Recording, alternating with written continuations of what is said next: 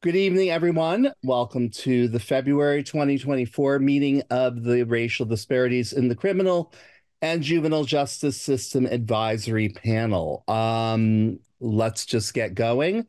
Let's start with introductions. I'll go through the Hollywood squares as usual. Erin, could you start us off, please? Good evening. Hey, Tom, I'm sorry, I'm just gonna interrupt real quick. I have to go back and do it. I had the jury has a question, so I'm gonna, I'm leaving and coming back. Got it. Thanks, Take care. sorry. Absolutely, it happens. And um, Judge Morrissey's leaving, coming and going doesn't affect our quorum, so we're Right. good there. Yeah. Um, hi, everyone. Erin Jacobson. I am the Attorney General's designee. I work in our office's Community Justice Unit. Great. Thank you. Chief Don.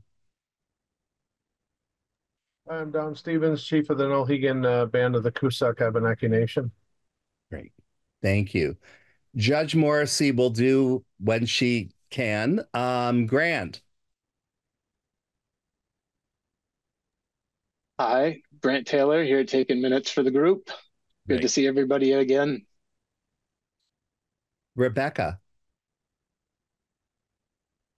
Hi, everyone. Uh, I have a cold this evening, so excuse my weird voice.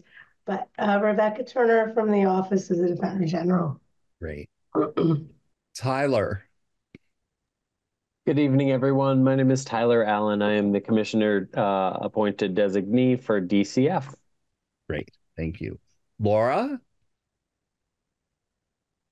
Sorry about my hair. Um, my name is Laura Carter. I am a data analyst in the Division of Racial Justice Statistics for the Office of Racial Equity. Great. Thank you. Jessica. Jessica Brown, she, her assistant professor and director of the Center for Justice Reform at Vermont Law and Graduate School. Great. Daniel. Dan Bennett, Vermont State Police Deputy Director, of the Fair and Impartial Policing. Great. Elizabeth. Elizabeth Morris, um, Family Services Division, but not the DCF designee. Great. Thank you. Sheila. Sheila Linton, she, her pronouns. I'm Executive Director of the Root Social Justice Center and panel member. Farzana. Hi, good afternoon, evening. The uh, Farzana Leva, Orleans County State's Attorney. Great. Uh, Zoe Hart. Uh, Zohart, just concerned citizen sitting in. Okay. Thank you. Tiffany. Hi, good evening. Um, Tiffany North Reed, um, with the Division for Racial Justice Statistics with the Office of Racial Equity. Okay. Um, I'm assuming Isaac's Otter pilot will not reti- return uh, an invite. Although I may be wrong, Isaac's Otter pilot. No, that's a transcription service. I thought so. Thank you. Xusana. Hi, everybody. Xusana Davis, Racial Equity Director for the state. Great. Chris. Loris.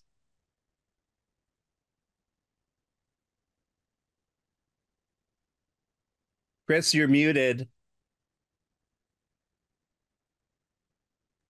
Sorry about that. Christopher Loris, uh, research associate. Where'd you go? I'm here. Okay, am I back at you? Yep. Okay, Christopher Loris. Sorry about that, folks. Research associate with Crime Research Group, and uh, just here observing. Full disclosure: until the end of this month, I'm still a member of the Vermont Criminal Justice Council. Great. Jack Rose. Hi there. Uh, yeah, thanks. I am Jack Rose, she, her pronouns. I am at Department of Corrections. I'm the Health Equity Director, but I am not the designee. I expect that Derek Miodovnik will be um, arriving. He might be late, but um, he's our DOC designee. Great. Reverend Mark Hughes. Executive Director of Vermont Racial Justice Alliance. I'm just watching tonight. Welcome. And I will not be able to pronounce VPA VPA. Lindsay Terurge, Director of Administration, Vermont Criminal Justice Council. Okay, great. Okay, welcome all. A uh, few announcements. Um, fairly short. Um, and I don't suppose I really need to say much about it. Um, there's no relitigating anything. None. Okay, the report's done. We've been have we've been doing this for over a year. It's done. Little things are fine. Um, I know that there is a request from um uh oh gosh, I'm blanking now. I've got so much in my head I can't hold it on. Uh, the attorney general to move their statement to another place in the report. Um, things of that nature are fine. Um, but there's no major opening this up again. And yeah, it's if you don't like it, your group doesn't like it, your commissioner doesn't like it, it's no. Just vote no. Okay. Um, it, it, it, there's just no time for anything more than that at this point. Um, that is the large uh, point that I want to make. The smaller one is Elizabeth, you're going to handle actually the voting and writing things down, correct? So there's been a little bit of a change with that. Can you talk about what you're going to do? Yeah, so my plan um, is that really fun spreadsheets. Uh, what I've done is I have added everybody's name, and I'm I'm happy to share my screen um, while I do this. Although my people might prefer to see each other's faces. And as we do roll call, uh, which I believe we have to because nothing is going to be unanimous, I will indicate yes, no, or abstain for every vote um, for every person as we go through in that spreadsheet so that we don't have to. I know you had suggested taking photos at the end, um, but this um, is just an alternative if it if it's appropriate.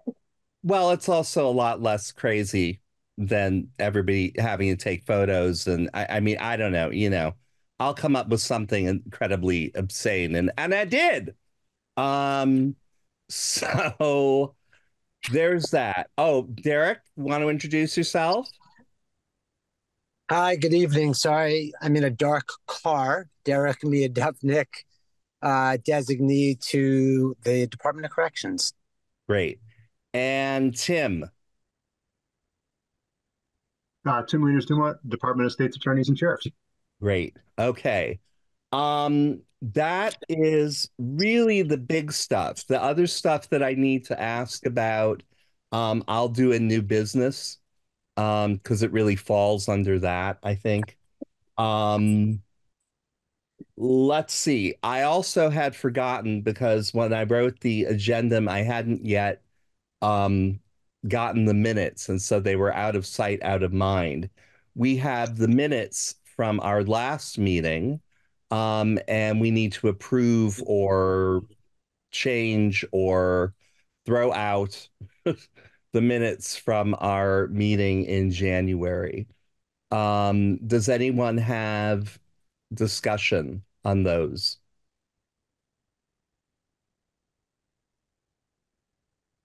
Okay, seeing none, uh, does someone want to make a motion? I move to approve the minutes from our January 9th, 2024 meeting. Thank you. A second. second. Thank you, Sheila. Second. All in favor signify in some really dramatic way. Aye. Aye. Aye. All opposed. Aye. Oh, okay. Sorry.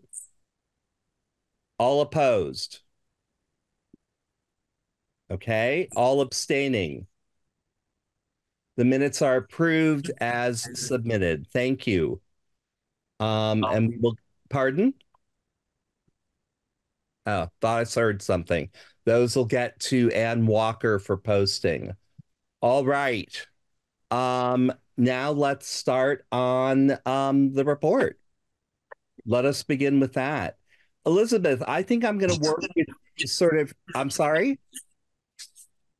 So I keep hearing background stuff, folks. Can we try to keep that to a minimum? Thanks. Um, Elizabeth, um, let's work together on this one because, yeah, I think that'll work best. We're going to vote on the, you all have the spreadsheet, so you know what you're doing.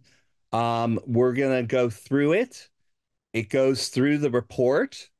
Um, and I think Elizabeth, go ahead and start us. What is the first item on the on the spreadsheet is I believe we're starting with second look. we are and the first question is second look legislation should remain focused on addressing and correcting racial disparities. We need to vote on that, and we're going to go one by one. It's a little slow, but it is necessary for transparency um, and accountability. So I will go again. I'll do. I'll continue playing um, Hollywood Squares, and please give your vote out loud when we get to you. We'll start again with Erin. Okay, I just need to preface my votes on second look by saying the Attorney General's office does not support second look legislation at this time. However, if there is any second look legislation, then we would vote yes um, that any second look legislation should remain focused on addressing and correcting racial disparities. So can we make a a spot, um, Elizabeth, for those kinds of splits? Just write them out or something. Yeah, I I will say, and I um I know at our last meeting we talked about taking an overarching vote on whether or not you're supportive of second look legislation. I know that there was not necessarily general consensus on whether or not we should or should not do that. I would say that that would make this process a lot easier. Oh, I know, I know, but I'll put that out there. um, but it's it's not what's gonna happen. I think, unfortunately. Tim. No worries. Uh, My my recollection from that was that um, I believe I had raised that that would be helpful, or someone had raised it. I thought that's what we were going to do, which is why when I sent back my recorded votes, um, I had told our executive committee that it was that we could do that overarching piece. And maybe I misunderstood from the last last meeting. So We Um, could, but then what was the point of everybody sort of part divvying it up? Yeah. Yeah, I'm happy, and I'm happy to also um, kind of do the same thing that Erin just did too, if that's that's helpful. But What I can do is still keep people who really want to say no, that I, you know, my, you know, I, I can't support second look legislation. I can still keep track of that, even if it's not an official vote, if that would make as part of the discussion. Chief Don. Quick question. Um, should we also say why or why not we approved or disapproved, or do you not want that reasoning in record? I personally don't find that particularly important at the moment because when this becomes um when this becomes if it becomes if any of this becomes legislation there will be a chance for that in um testimony. Okay, so if I say no against something, if anybody wants clarification, they should ask me then. Yep. Okay. You are next, Chief. Uh, I uh, approve on the, that question. Okay, thank you. Judge Morrissey is still out. Rebecca. Uh, I just also, for the record, there's a chat, a request from someone here from the public requesting we, we make a, a record because they don't have the Excel spreadsheet. We do as panel members, but they don't know what we're voting on. Can we, Maybe we could go back to Elizabeth's idea of screen sharing. Okay. Sorry, that's uh, me. That's Lindsay Taberge. I am voting for the executive director and in place of Jen Firpo. Um, so I do not have that spreadsheet. if it would be possible to share that. Uh, yeah. I was just looking to see if I could also drop it in. Um, Zoom is not liking it for me. If there's anybody else who has a copy of it, um, or you can send me your email and I can forward it the email to you. I Um, but I'm can also forward- happy to share. I can will forward it to Lindsay right now. And it I'll go also ahead. did not want me to drop it into the chat. I tried that. Thank you both. I don't know why Zoom won't let us do that right now. Um, I will say, um, just for the record, it, it might be best for every vote to be stated out loud, even if we have the spreadsheet. Um, Yes, I agree. We haven't done that? You mean reading off each item, right? yes, Yeah. specific. I agree. Okay, let me try to figure out where we are at this point. Anybody else got anything? Sheila, I, I'm just curious because if I wasn't on the panel and even being on the panel, um, for those who are in the community, I'm very curious of why people would vote no. You know, I'm less concerned of why people might vote yes because we have it, you know, we're voting on the document in front of us and we're saying yes. But I would really like for those who are voting that say no to just briefly say why. And I think that's important for our community to know. discussion? Uh, I would second Sheila's point. I don't think that saying something on the record means we have to put it in the report and bog down that process, which I understand is Etan's concern. But in this moment of critical vote, I, I think that is fair. I also would request uh, Elizabeth or whoever, Erin, um, instead of worrying about the posting of the Excel spreadsheet, just the first question we're voting on or the question we're currently voting on, throw it in the chat or say it out loud so we have a, a record. I, okay, I said it out loud and that didn't work apparently. I'm happy to, uh, uh, all hands on deck. I can put um, the prompts we're voting on in the chat as we get to them. That's fine. I'll do that. My one other thought logistically is um, uh, the people who are voting are panel members, and I'm wondering if if Elizabeth has all of our names on a spreadsheet in a particular order, maybe Elizabeth could call on each of us for each prompt. I mean, we're not trying to take any official duties away from you, Etan, as I opposed to you having to try to remember if you've called on everyone. Does that Uh, make that- sense? That Okay. makes perfect sense. My All right. brain is a little addled. Yes. So I'm gonna put the um, first prompt in the chat and um, turn it over to Elizabeth. Thank you, Jessica. Um, so what I'm going to do is I'm going to list them as the members are listed on the website. Um, so if anybody is voting for someone or by any chance the website is um, off, then that's fine. Also bear with me. I know we're missing some people today. I'm still going to say their name. We can pause and then move on uh, just until, just so I don't miss anybody. So uh, just to recap, uh, we are voting on um, the second look legislation should remain focused on addressing and correcting racial disparity. So first, I have Jeffrey. I do not believe is here, but I'll pause in case I'm wrong. Um, and the next person, as listed right on the website, is Sheila. I'm voting in favor, affirming yes. Thank you, Sheila. Next is Etan. Yes. I already have your vote, uh, Chief. Next is Witchy. Is Who is not here? Tyler?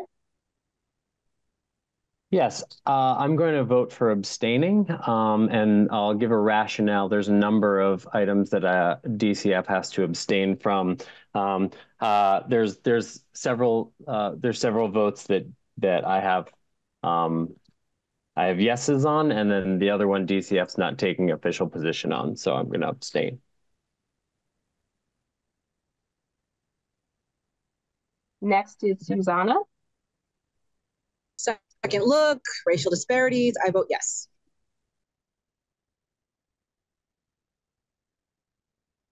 Uh, next is Jennifer Firpo. So I apologize. It's Um, Lindsay, though. It's Lindsay. Uh, Lindsay TeVerge, I vote yes. we have Erin's vote. Um, so next I have uh, Captain Kessler. Um, that is now Daniel Bennett. This is a great exercise in which parts of the website we have to update. I was just thinking that, yeah. Dan, Yes. was that yes to my saying your name or yes, you're agreeing? Both. Got it. Uh, I have Tim up next. Thanks, and I'll just do a brief um, explanation as to probably all the votes. So last Friday, the executive committee, and this is approved by Etan in advance. I can just do this brief disclaimer, so I won't do it every time going forward. But um, the executive committee of state's attorneys looked at the draft report that Elizabeth had sent out last Friday, and on this one, perhaps because of my own oversight, um, I had basically just said a yes or no on this one. Um, so this will be in the minutes essentially just to record that that's the way that I asked the state's attorneys. And Farzana, who's on, one of my bosses, can vouch for that. Um, but because of that, I'll everything on second look will be a, a no for me, Elizabeth. So you can record that going forward. Um, and that's the process I did for all of the different sections. I, I had a long meeting with the states, the executive committee of states attorneys um, who directed my vote on this piece. And also uh, in January and December, I shared a list, like a, the state's attorney's executive committee uh, response, questions, comments on this, which is in the report. And I'm very grateful for that. So um, no on this, uh, reasons why, getting to Sheila's point, um, listed in that memo that I produced in the report. Thanks, thanks all. Uh, next I have Dara.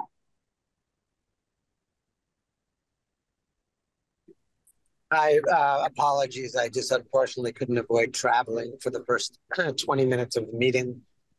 Derek Miodovnik, on behalf of the Department of Corrections and um, for convenience sake, this uh, will be applicable across all the policy positions that are being voted on tonight. DOC is going to abstain from taking any specific position relative to the items on the spreadsheet.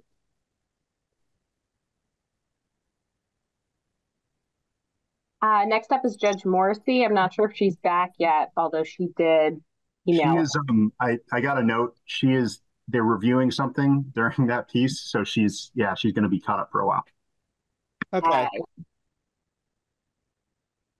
Um, so next and last I have for Rebecca. So if there's anybody other than Rebecca who hasn't voted, please make sure they raise their hands. So I'm, I'm gonna speak up then. Oh, Jess, I am also a panel member.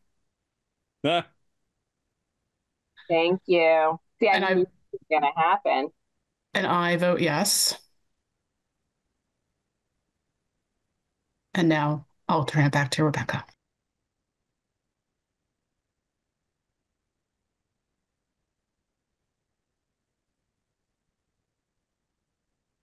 Rebecca, You're muted, uh, Rebecca. oh, I didn't unmute. Uh, I vote yes. Yes. Great. Ah, Jeff Jones is here as well. Um, get the audio going here. So Jeff, just um, I, I didn't catch when you popped on, but Jessica put in the chat the specific recommendation regarding second look that we are voting on right now, and that is second look legislation should remain focused on addressing and correcting racial disparities. Um, can you hear me now? Yep. Okay, um, yes. Thank you. Wonderful. and I know Etan, you said at the beginning of this, um, no edits to the report. I absolutely understand that. Um, I do think we just need to do a read through for members because I think some of these people aren't. Not everybody is listed um, in the report as being a member. Yep. Um, and not and and there might be some issues on the website too. Um, so just to be clear, in my mind, that ends that vote, and then it would be a, a next vote on um, the next one, which means we might need a motion in a second, um, if you think appropriate, Etan, or we can just continue on. I think we can just continue on. We have always decided to do Roberts Light. I think Roberts Light really works here. I think we're just going to keep going. We have had these in front of us for weeks now. Um, there's no reason for there to be any question about it any longer. Let's just move along. Perfect. Thank you. Um, so the second recommendation regarding second look is that legislation should be guided by science and data relating to recidivism, racial disparities, the age of the person when the crime was committed, the age of the time of the person at time of sentence review, and any other relevant factor supported by science and data. Um, and I will start with Jeff. I will vote yes. Next up is Sheila. I affirm yes. Etan. Yes. Pete Stevens, Yes. which he's not here. Uh, Tyler. Abstain. And just to confirm, even if you've told me, I'm still gonna roll call you. So appreciate you for bearing with me. Uh, Jessica. Yes. Xusana. Uh, second look, science and data. I vote yes cautiously and just want to say on the record um, that, of course, this is with the understanding that sometimes data and the sciences can be weaponized against um, people from historically marginalized groups. So we want to be careful about it. But generally, yes, I'm going to vote yes on this one. Thank you. Uh, so next would be Lindsay voting for Jennifer Firpo. Yes. Erin? With my same preamble as last time, yes. Uh, Daniel? Yes. Uh, Tim? Uh, same preamble as last time, copying Erin's term and no. Uh, Derek? Abstain. Don't believe Judge Morrissey is back. Um, so Rebecca? Yes. Okay. So third, second look, uh, reads second look legislation should commit to sentence reconsideration laws that apply to all persons sentenced to imprisonment without carve out offenses or age. And we will start with Jeff. Yes. Sheila? Firm, yes. Etan? Yes. Pete Stevens? I vote no. There could be, uh, there's always exceptions to any rule.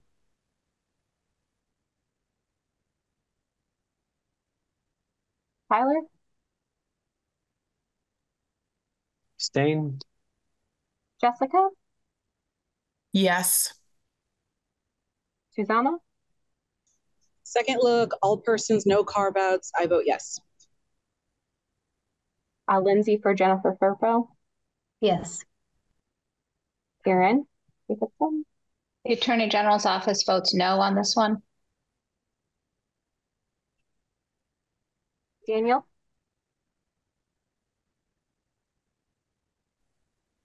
Yep. Uh, Tim? No. Derek?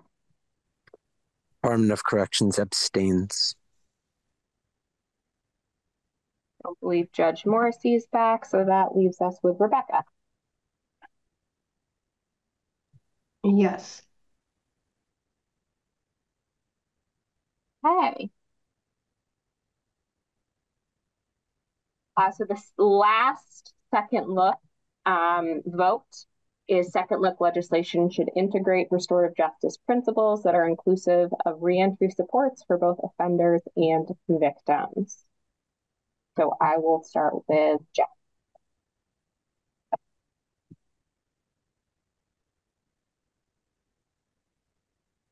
You were a little garbled at the end, just so you know. So Yeah, I didn't quite get that. I'm going to abstain. Nothing either way. Okay, I can repeat it. Well, I'll just repeat it even if you, you continue to abstain. Second look legislation should integrate restorative justice principles that are inclusive of reentry support for both offenders and victims. And uh, it is now in the chat as well. Thank you, Jessica. Okay, I'm I'm going to abstain because I'm not clear on my thoughts. Excuse me. Okay.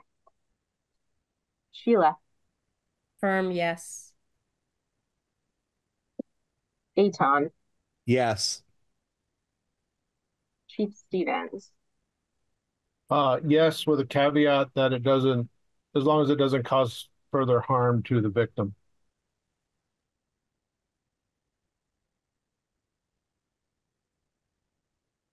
Uh, Tyler. DCF will abstain. Jessica. Yes. Xusana. Second look, restorative justice. I vote yes. Uh, Lindsay for Jennifer Firpo. Yes. Erin. Yes.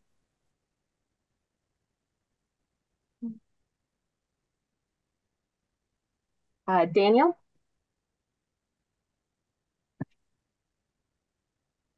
Yes. Tim. Uh, aforementioned uh, explanation and no. Derek. Department of Corrections abstains. Judge Morrissey. I'm not even sure what question we're on right now. I'm sorry, I just barely came back. No worries. uh, we are voting on the very last second look legislation, which is that it should integrate restorative justice principles that are inclusive of reentry supports for both offenders and victims. Okay, and the judiciary is not taking a position. Thank you. Okay, so I'm just going to write down abstain for you, uh, Judge sure. Morrissey. And Perfect. just because of roll call, um, I'm I'm still going to go through and ask everybody. So I, I appreciate you bearing with me as you continue to repeat that, even though I know that's that's your stance on everything. Yeah, thank you. It's critical to do that, Elizabeth. It really is. So So we should be clear then, I think, Judge Morrissey, that we voted on three other second look um, legislation prompts and so uh, you, uh, uh, we're I think we're all assuming that you're abstaining on behalf of the judiciary for all of them. Is that yeah. right? Okay. Thank you so much. Yeah, yeah, sorry. Sorry about this back and forth. It's um we're trying we're trying to figure out if we can come back tomorrow. It's it's uh taking some unexpected turns. So sorry. Duty calls. Yeah. It does. Um so that brings us to Rebecca. The last question on restorative justice, second look, yes.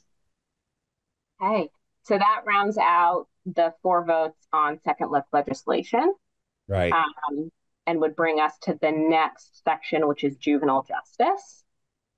Um, and Etan, I'll, I'll let you decide. Uh, I know, I know we're doing Robert's Rule light, but I didn't know if people wanted to have any discussion on um, anything that we just voted on or anything like that. Yeah, no, that's fine.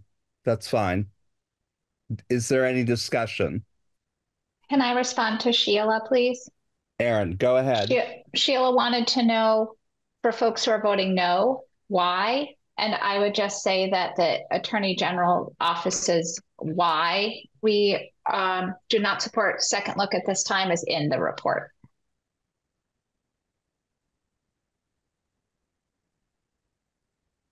I'm happy to explain it further, but I didn't want to take up more time. Nor did I want to ignore your request, Sheila. Sheila, go ahead. Um, thank you, Erin. I appreciate that. I also just had a, another request.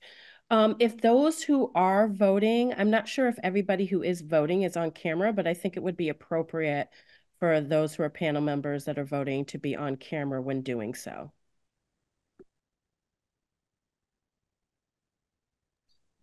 I'm going to respectfully decline to do that this time around to minimize distraction while I'm in transit.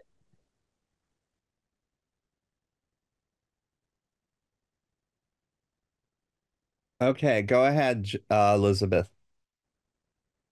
Um, so as I said earlier, that brings us to the juvenile justice section.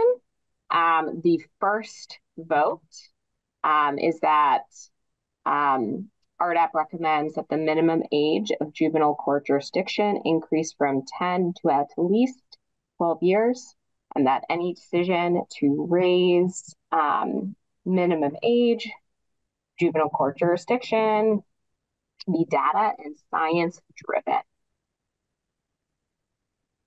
And I will start with Jessica. Yes, you caught me off guard. Yes. Yeah, you got added in a little strangely, so I apologize. um, next is Jeff. Yes. Sheila? Um, yes. Etan. Yes. Chief Stevens. I'm going to say yes with a caveat saying I'm not sure about in cases of of a murder or something of that aspect. But overall, yes. Tyler? Yes. Xusana?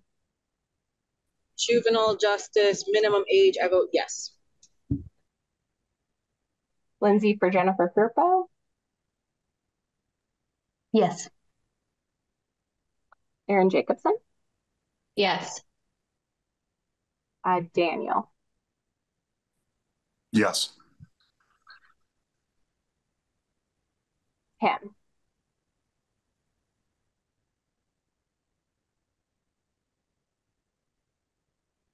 You're oh, muted. muted. Sorry, dealing with a bit of a migraine on the left side of my face, so I'm gonna um, don't want to have you guys stare at my twitching left eye. Um, I'm vote. We're voting yes on this um, just with the note from the state's attorney's executive committee that um, the, the point of, and this is just for the minutes as Etan and I have discussed, but yeah. the point of this is to, um, you know, when someone is engaging with certain conduct, the point is to engage them with services, um, get them rehabilitation in Title 33. And so um, ensuring that we have the ability to provide services to someone in this type of circumstance um, we vote yes, but just noting that we still need to be able to get services to folks. Thank you.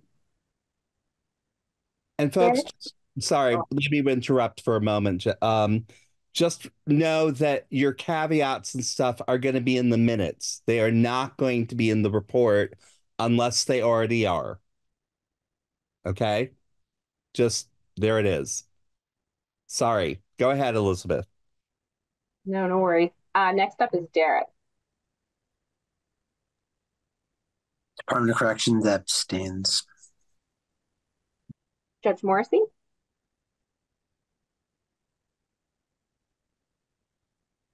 She might have had to get off again. Um, so Rebecca. Yes.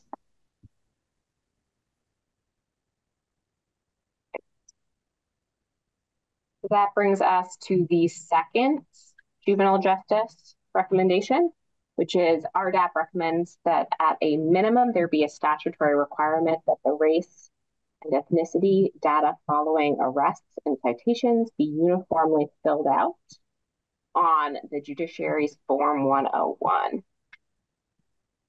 So we will start back at the beginning with Jessica. Yes. Jeffrey. Yes.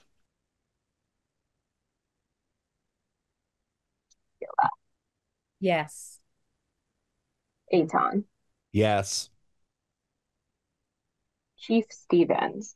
Yes. Tyler. Yes. Xusana. Uh, juvenile justice, uniform forms. I vote yes. Uh, Lindsay for Jennifer Firpo. Yes. Erin Jacobson. Yes. Uh, Daniel. Yes. Uh, Tim. Yes. Darren. Sorry, did you say Derek? I did, yes. Sorry. Uh, abstain. Uh, Judge Morrissey, if she's back. She's had to go again, I think. Um, That leaves us with Rebecca. Uh, yes. Okay. So the third JJ related um, vote um, is, in, in keeping this in mind, this one is connected to the, the second, um, which is that RDAP recommends that both law enforcement perception and court perception of the youth is gathered. And I'll start with Jess. Um, well, I have a question about about this vote because the way I read the um the spreadsheet was that we are supposed to be voting for one or the other of the last two props. Am I reading that correctly? I was going to put them both in the chat. So should I be saying which one I vote for or Yeah, so what I think is going to make it easiest for me, uh, just to be frank, is just to say, you know, say you support law enforcement perception um, and court perception, you'd say yes to this one. And then to number five, you would say, or no, excuse me, row five. So law enforcement perception and self-identification, you would say no. So you would you would just vote opposite essentially. Does that work for everybody, or is there still confusion with that? works for me.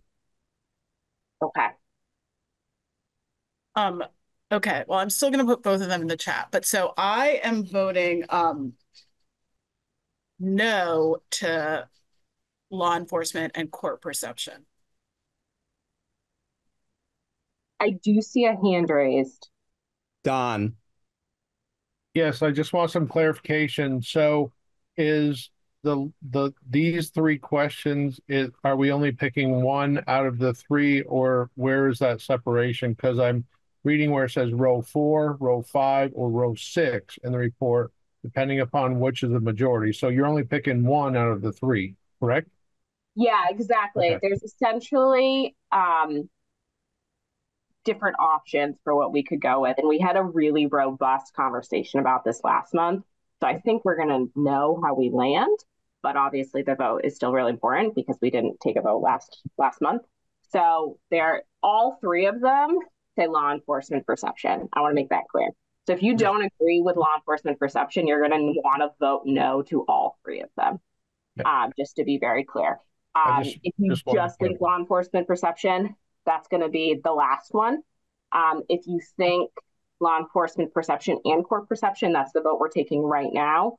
Um, and then the next one is law enforcement perception and self identification. So essentially, you're going to want to only say yes to one. Um, although you could say no to all of them. You could you could be against all. Does that does that clarify? I know this one's a little confusing. It does. I'm And sorry Elizabeth- to be Oh, sorry. oh, I'm sorry to be a pain. My spreadsheet only has two choices. Did is there an updated spreadsheet with three choices? Because I'm confused. My spreadsheet has RDAP recommends. So we did um filling out judiciary's form 101, right? Yes, that was the second one. So then my spreadsheet has RDAP recommends that both law enforcement perception and court perception of the youth is gathered, or RDAP recommends that law enforcement perception and self-identification of the youth is gathered gathered at a later time. I don't have a third choice. Nor do I. Okay, so there we did at the last meeting. Um, I think I was the one who actually suggested it. Have a suggestion of having the third option because we did not, we were not able to come to any kind of general consensus. Um, if we don't want that third option and don't don't want to vote on that, I think that's fine too. I think it's up to up to. I mean, I'm not a voting member, so I'll let you, I'll let you all discuss. No, I, I Did you did you want to put all three in the chat because the the third one I have is RDAP recommends that only law enforcement perception of youth is gathered at this time. That's the that's the third option. So um, just because we have different spreadsheets, do you want to put all three in the uh, chat so people can see it? Um, and then you pick one, two, or three. Um, I like that. I was about to say, would that make the vote easier? Just saying Yeah. one, two, three. I like that. So three, if if Jessica, if you want to put that in the chat, what we just discussed, and then when Elizabeth calls your name, you can say one, two, or three, or abstain, or I don't know, whatever else.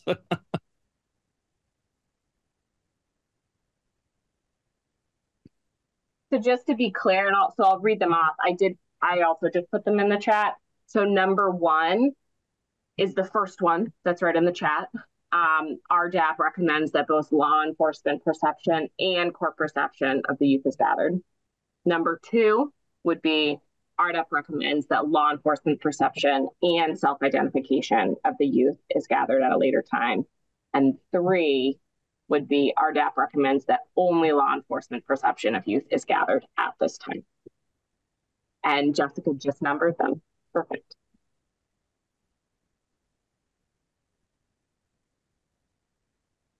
So given that, Jessica, would you like to re-vote? I vote for number two, law enforcement perception and self-identification of the youth. Great. Next up was would be Jeffrey. I agree with number two. Vote for number two. Next up is Sheila. Same. So I guess no, yes, no. So I vote for number two, yes. Next up is Etan. One.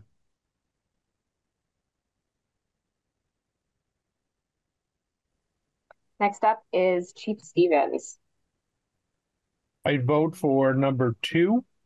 And the reason, just as a caveat, um, Indian Child Welfare Act invokes special handling, and we haven't really talked about native issues much in this report.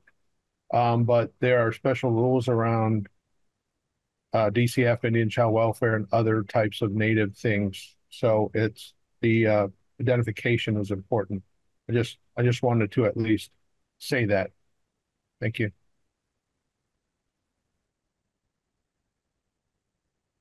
Tyler. Yeah, um, I just want to say that all three of these solutions are are acceptable to me, so I'd be happy with any of them, but I'm going to vote for number two. Donna. Uh, juvenile justice, law, and self, number two. Uh, Lindsay for Jennifer Firpo.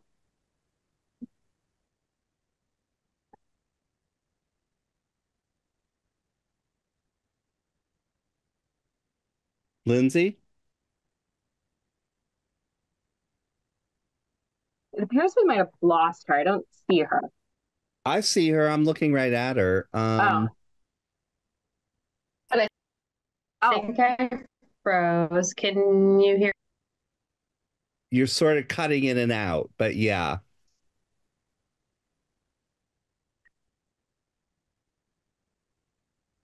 Can you, Not. Can you come back to me?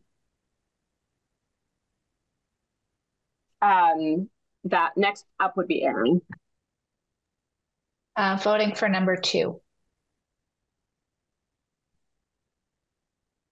Daniel? Number one.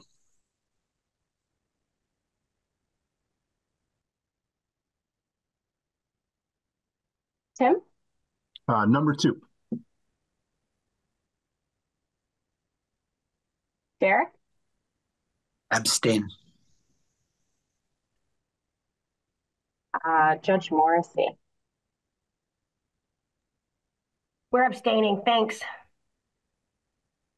Uh, Rebecca. Number one.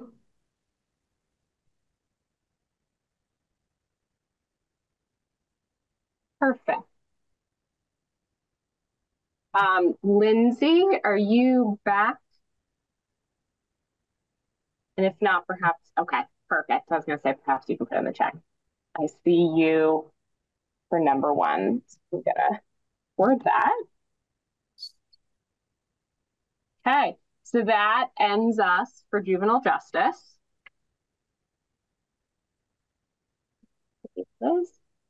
Um, and brings us to community safety.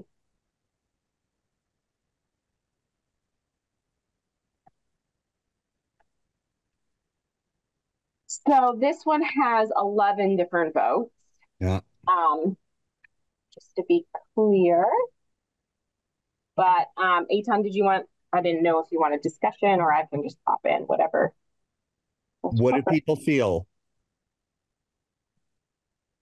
Is there discussion?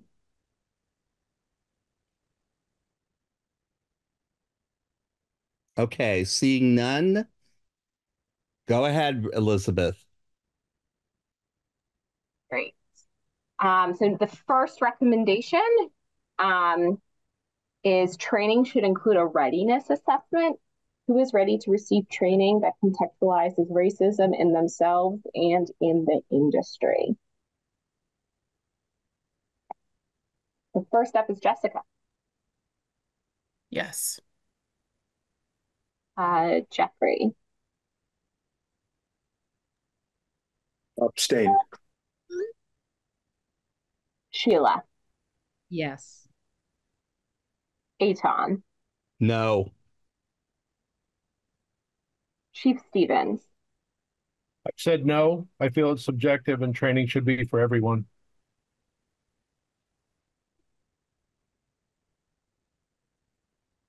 Tyler? Uh, abstain. Xusana? Can you come back to me? Yeah. Uh, Lindsay, you. Jennifer Firpo? Lindsay, I think you may have frozen again.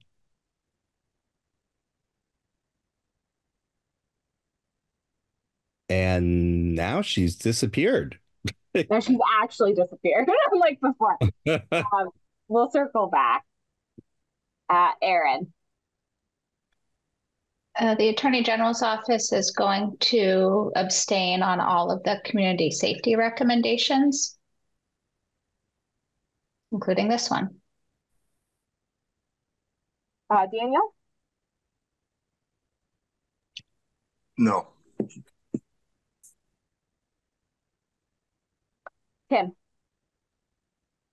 Uh, abstain. Derek? Department of Corrections abstains.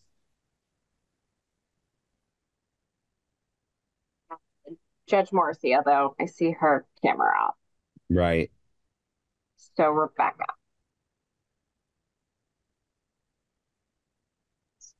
Yes. Okay, so that brings us back to Xusana. I'm really sorry. Um, I did review the draft and I didn't see this, and I think it might be because I'm looking at an earlier draft, but can can somebody help me understand? Is the readiness assessment, I'm so sorry to ask a basic question like this, but is it that if you're deemed not ready, then you don't get the training, or that there is some intermediary step provided to you so that you become ready? I again apologize for having to ask this, but I want to be clear. I did not see that there was any um, build up to readiness.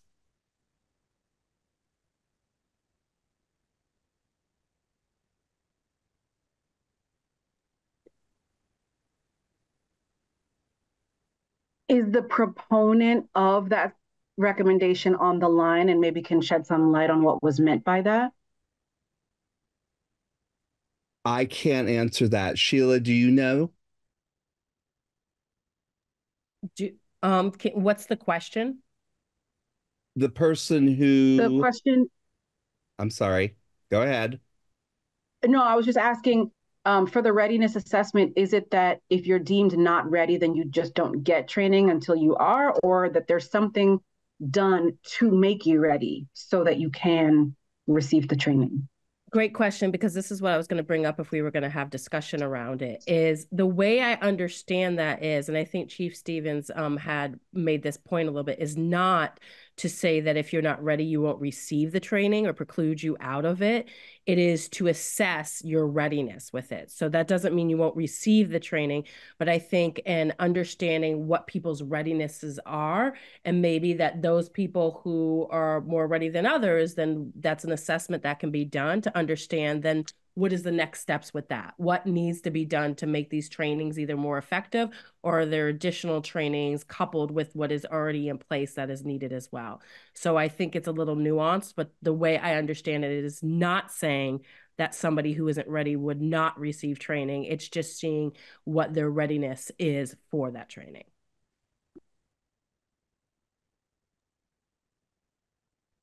Chief?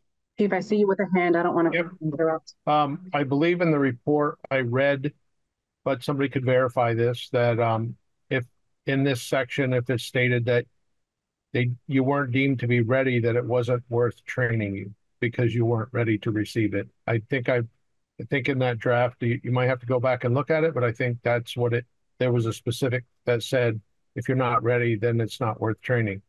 Um, but you can verify that at least on my draft, I thought that's what I saw. Um, Chief Stevens, I think that you you have you're correct in some of the um language that we've used to discuss this, but I don't think we came to a conclusion that it's not worth training somebody. We just wondered whether it would be um what's the word for it? Um whether they without having buy-in how much that training really affects their ability to shift or to show up in a different way. So I again I think that it's nuanced and I appreciate the questions, but um, I still feel like for me, I might vote a different way if if we're saying that if you're not re- you you fail the readiness um, assessment, then you don't get the training. I might answer no to this, but I'm voting yes because my understanding is is that we want to assess the readiness of folks within within the um, training academy. Thank you all for um, allowing us to take those few minutes. Uh, I think that on this one, I'm going to, uh, I guess, vote no, just to lend an eye to post training effectiveness and information uptake. Um, thank you.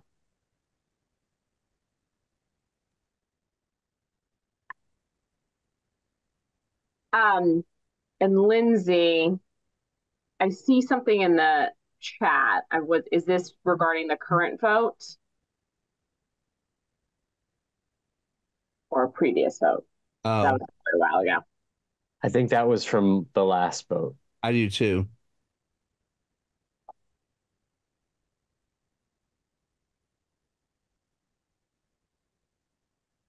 Are you? Because it's preceded by her saying, Can you come back to me? And then she says, Number one. I see her. I see her square, but not her face. Um, so perhaps I'll I'll just move on. Oh, uh, yeah, I would just request that you do it in the chat so everybody can see.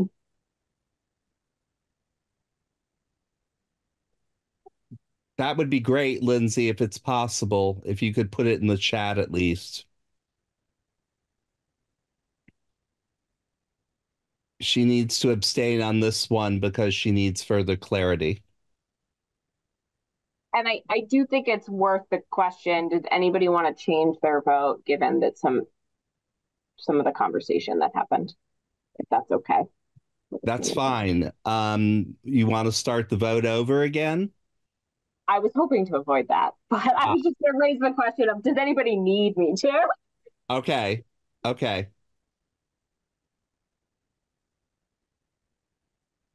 I don't. Okay, sounds good. Then I'm going to move on. Uh, and I believe we have everybody for um, the readiness assessment question. Um, so the next recommendation is training should include the origins of policing in America, provide a view of the founding of policing in different areas of the country and its change in function. Um, and just given some of the discussion that happened earlier, um, and, and given that um, I think some of these recommendations are, are nuanced for community safety, I'll, I will pause for discussion if anybody has questions before I start with Jessica. That seems better.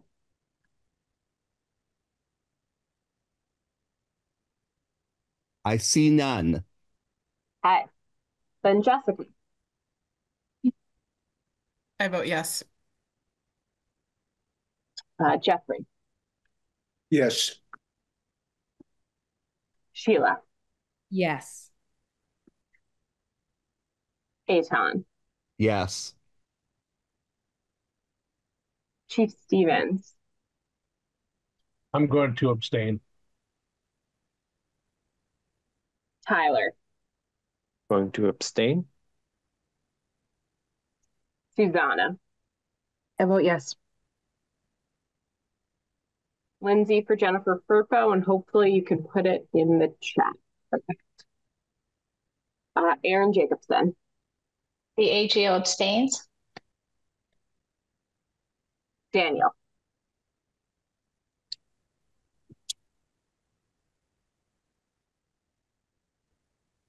I apologize. No. Tim. Yes. Derek. Abstain. Judge Morrissey. Um, we're abstaining. Thanks. Rebecca. Yes. Great. Uh, the third vote for community safety is training should include an overview of the many policies that have criminalized people of color and intersecting identities, which contextualizes the use of policing um, over time in America. Any thoughts, discussion? Seeing none. Uh, Jessica. Yes.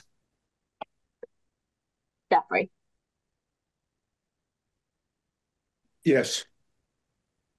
Sheila. Yes. Etan. Yes. Chief Stevens. Abstain. Tyler. Abstain. Xusana. I vote yes.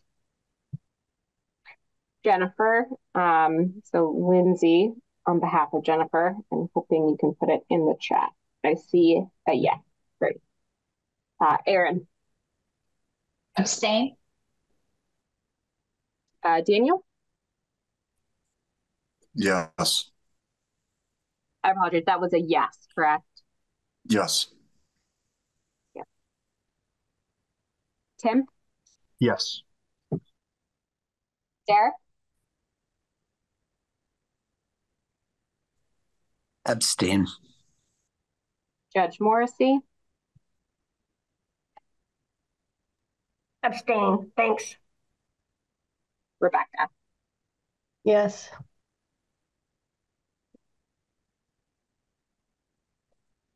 Our next vote is training should include cultural competency, norms and behaviors show up differently in different cultures. Law enforcement should be familiar with cultures of different ethnic groups in Vermont and how they may intersect with policing. Any discussion or thoughts, questions?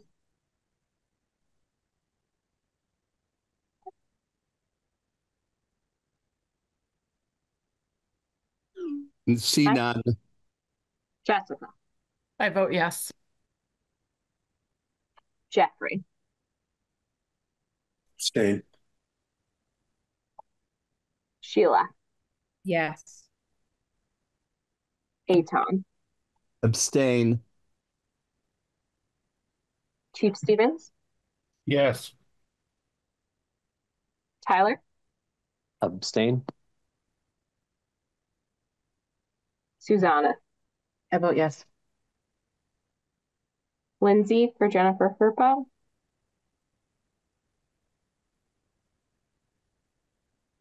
Yes. Yeah. In the chat. Erin. Abstain. Daniel. I'm going to abstain. Tim.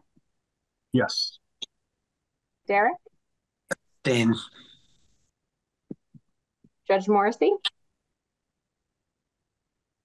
She's gone. Oh, Yeah. Now I'm back. The jury went home for the night, so I'm here now. Um, the uh, we're abstaining. Thanks. uh, Rebecca.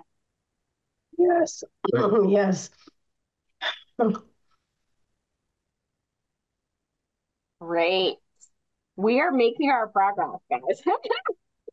I know it feels, but we're we're getting there. Um, so the next vote is about citizen review boards uh, should have independence. All board members must be free relational and financial conflicts of interest with law enforcement.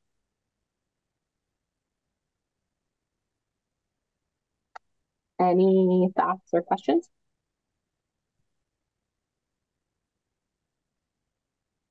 See none. Jessica.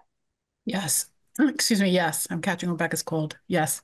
I know, Rebecca, you do sound. I hope I hope you get to have some tea and go to sleep after that. um, Jeffrey. W- Would I, uh, would it be much to ask you to repeat the question?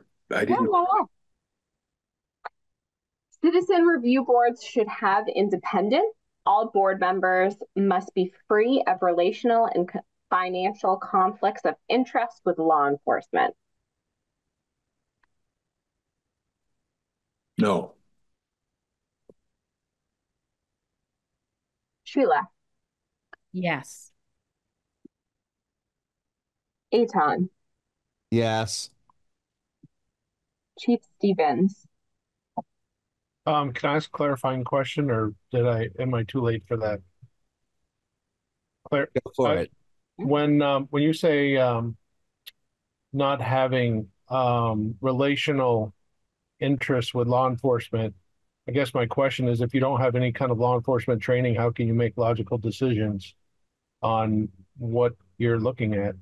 Um, if, does that mean you don't have like, it's not a mother, brother, father or something, or that you just have no relationship with law enforcement at all? Sheila, I hate to keep picking on you, but you're the only member of the subcommittee who's here. Okay. So what is the question? I I was just asking if when you say no relational um interest in law enforcement, does that mean you have no contact with law enforcement whatsoever? Or which which means either you're related to somebody in law enforcement or you haven't had the train like would could you is is training in law enforcement practices considered you have a relationship with law enforcement?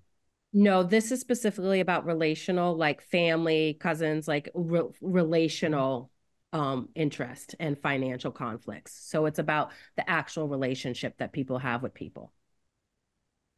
Yeah, I'm gonna I'm gonna abstain.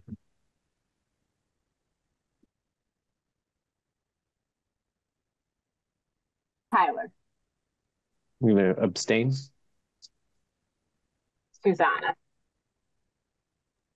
I vote yes.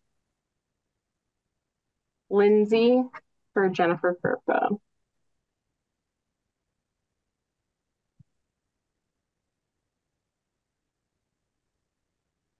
I'm gonna keep going and hopefully Yeah. Lindsay put it in the chat Good idea. and we can circle back if um, we don't see it. Um, Erin,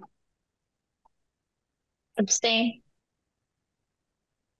Daniel, Abstain. Tim, Yes. Derek, Abstain. Judge Morrissey, Abstain. Thank you. uh, Rebecca. Yes. So we're just waiting on um, Lindsay's for that. So Lindsay, if I don't know if you can hear me, but um, just pop it in. Oh, there we go. Perfect. For the abstain. And that um, leaves us to the second question on citizen review boards or statement, I should say. Uh, citizen review boards should have authority. A board should be able to review internal and external investigations and hold law enforcement leaders accountable. This would be a really good time to think about what the question is and decide whether or not you need further discussion.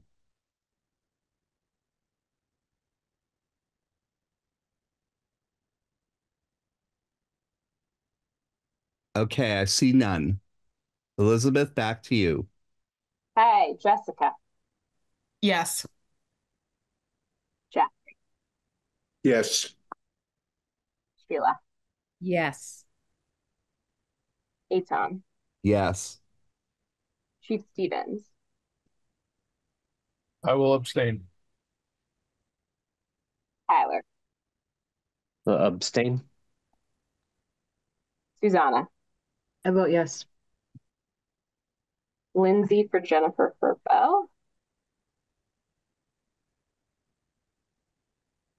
I will continue on while you are putting that in the chat, Lindsay.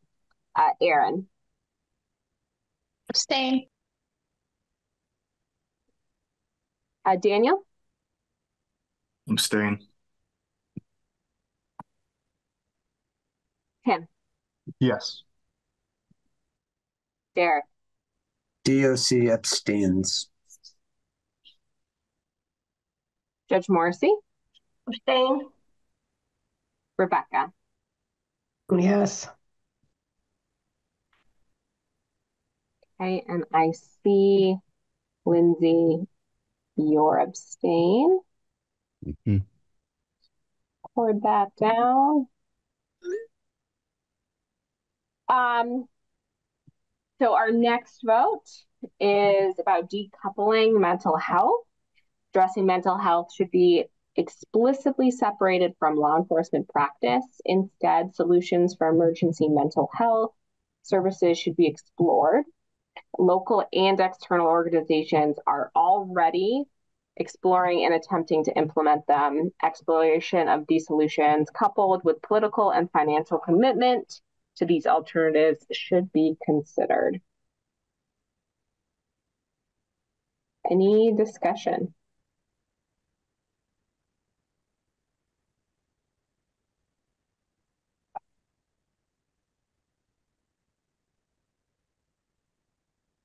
I see none. Elizabeth, can you read it once more just so I can make sure I don't have any typos? Yeah. Decoupling mental health. Addressing mental health should be explicitly separated from law enforcement practice.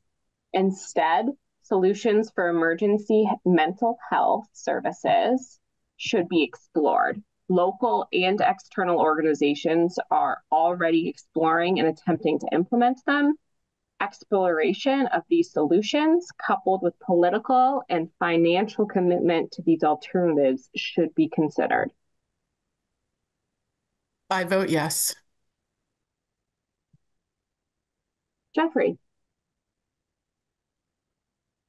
I vote yes, but I'm not, it's a little deep question. and it goes both ways, but I will vote yes. Sheila, Yes. Etan, Yes. Chief Stevens, Abstain.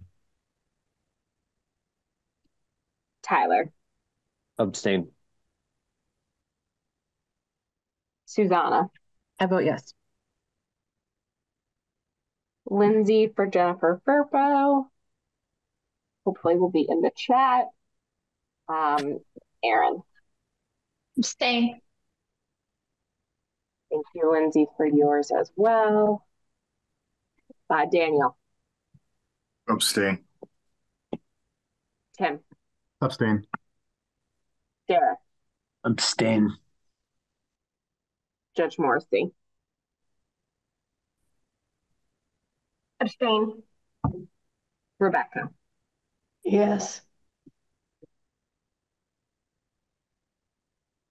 Um, eliminate SROs. Eliminating SROs is not new to Vermont legislature. Bills during the 2021 to 2022 session were introduced. The Vermont legislature uh, should explicitly incentivize schools that replace their SRO programs with student social services, such as nurses, counselors, clubs, emotional mental health education, etc. Any discussion?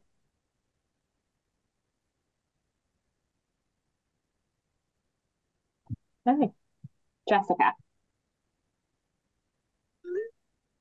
Um, I vote yes, and I will put this in the chat right now. Jeffrey. Abstain. Sheila. Yes. Etan. Yes. Chief Stevens. Yes. Tyler. I abstain. Xusana. I vote yes. Lindsay for Jennifer Firpo in the chat. Um, so Erin.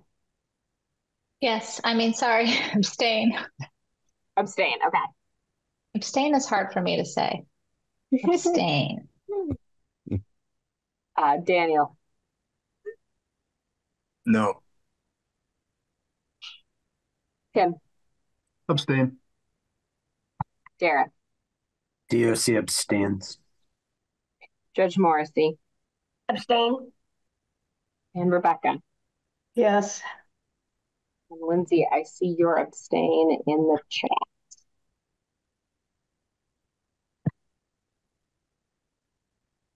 Hey, we only have three more votes, guys. Yep. Um, limit officer quantity based on population.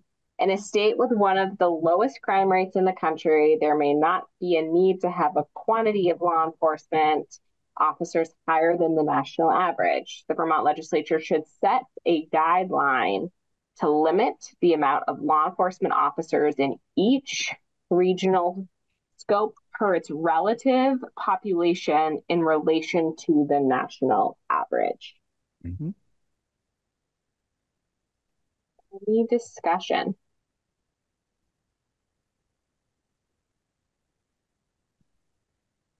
I see none. Okay, Jessica. I vote yes. Jeffrey.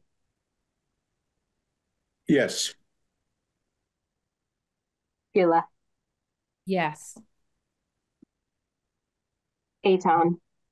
No. And the reason I vote no is because there are operational issues that cannot be foreseen that may impact the number of officers that are necessary.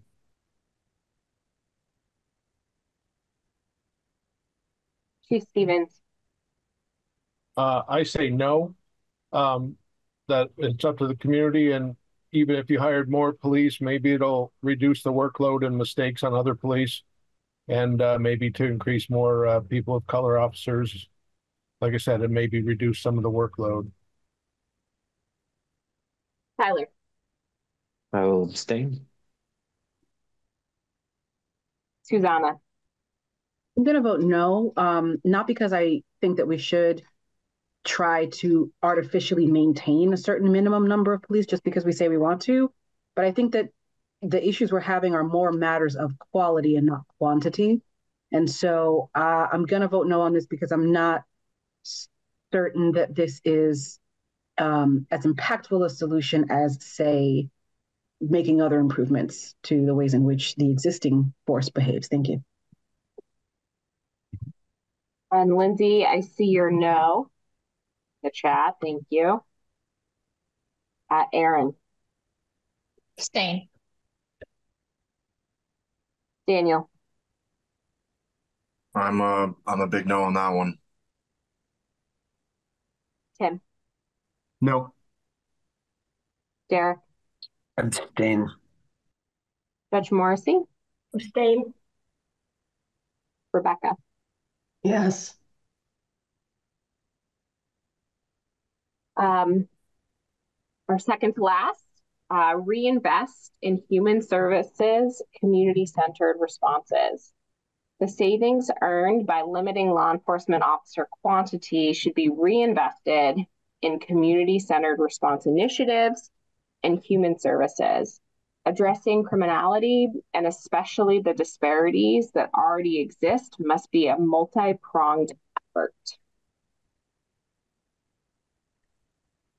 Any discussion? I have a question um, for the group. Do we see this as being inextricably linked to the previous one? That is to say, savings from reduction in police force.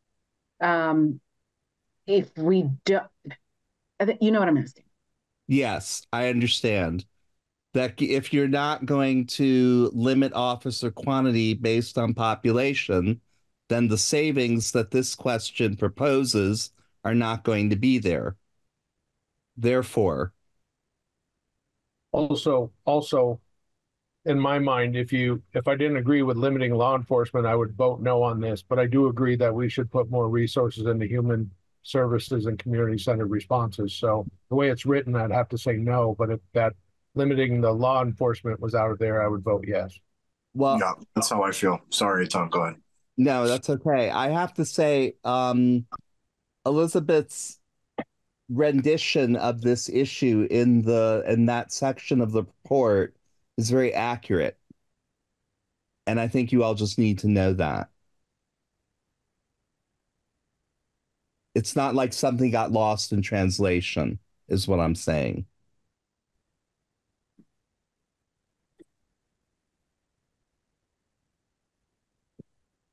It seems to me like if somebody voted no to the one beforehand, it actually makes more sense to vote abstain yes. than to vote yes or no. Correct. Agreed. But I guess that's just a recommendation. Do people feel ready for a vote or? Right. Any more discussion? I'm just kind of curious if Elizabeth, when you say that, is the assumption that people who are abstaining are abstaining because it's related to the financial component specifically? Is that why? Yes, exactly. Because they decided to not support a limit. And this question is specifically about what to do with the money that's left over from that support. Um, so.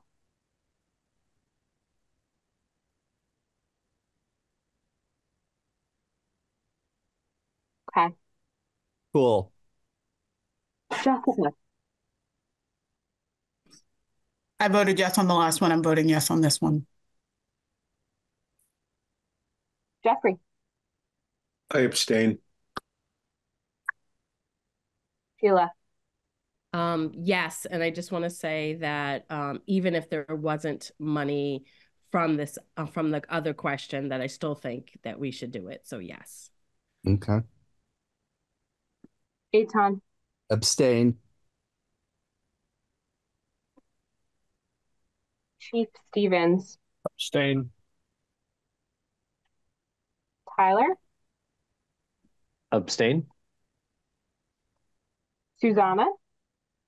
I vote yes on this one. I do not see that as in conflict with my no vote on the previous one. I think any cost savings that we incur, either from intentionally reducing the force or letting it drop by attrition, should be reinvested in this manner.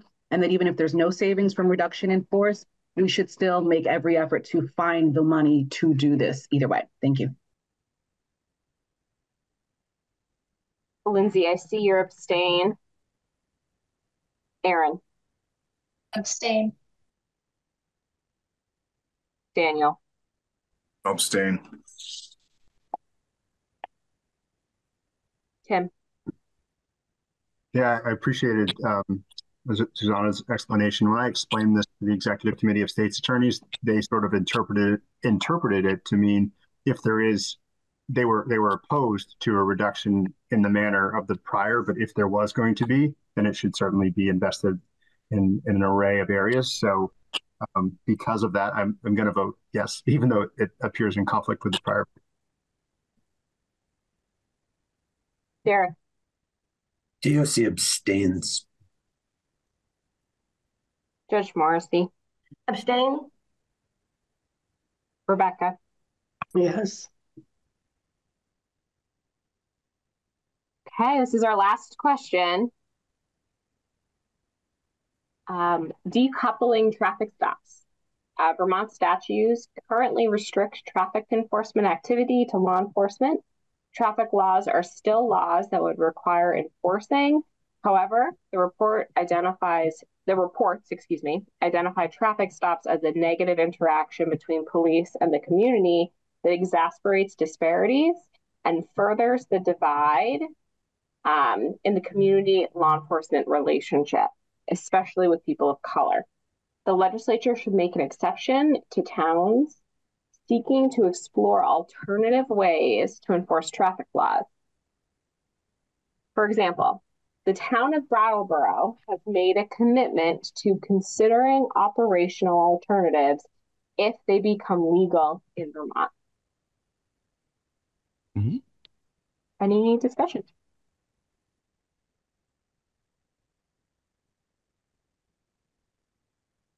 Don't see any. Jessica. I vote yes. Jeffrey. Yes. Sheila. Yes. Etan. Yes. Chief Stevens. I'm going to abstain, but I want to also make a statement that I don't think that traffic tickets should be used to pay for the coverage of the police force because that provides an incentive to give people tickets and stop them. We've seen that in the news and in things in the past. So I'm I'm on the fence, so I'm gonna I'm gonna abstain.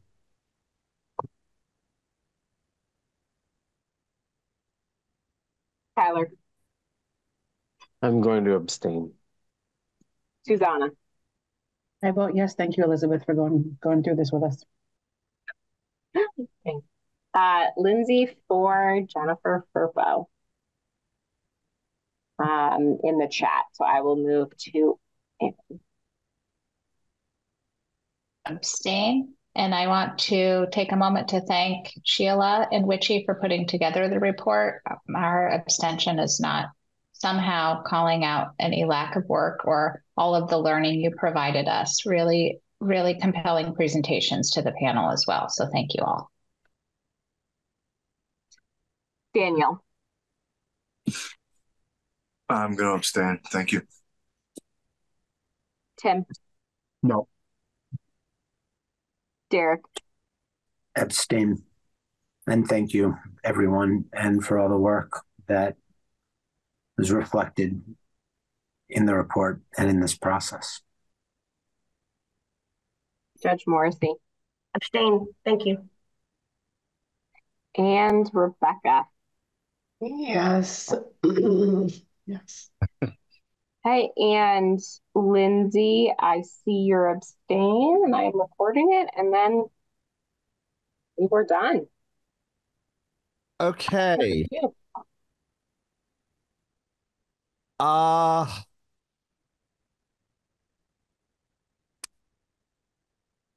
I need to see it. Certainly. So if you can, in some magical technological way, get this to me, that would be really cool. Um, the other thing I want to note here is those of you who were um, around for the 2019 report will recall that we had the non-consensus area, non-consensus reports. Um, what this process does, and I'm kind of happy about it, is it makes that very specific for each question all the way through the report. And I think that's important for the legislature to see. Um, one of the broad um, outlines that they're going to notice, I assuming they read it, uh, um, is that the community members were very, very much um, behind almost everything, with some variations, and there were a couple things that people didn't have quite the same feeling about, but in, there was a very broad distinction between government and the community. The beauty of the RDAP is that it reveals those things. That is the beauty and the strength of this panel.